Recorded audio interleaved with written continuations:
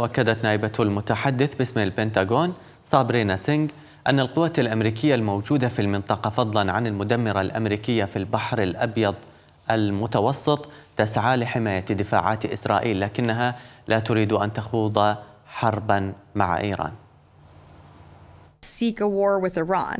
Um, لا نسعى إلى حرب مع إيران.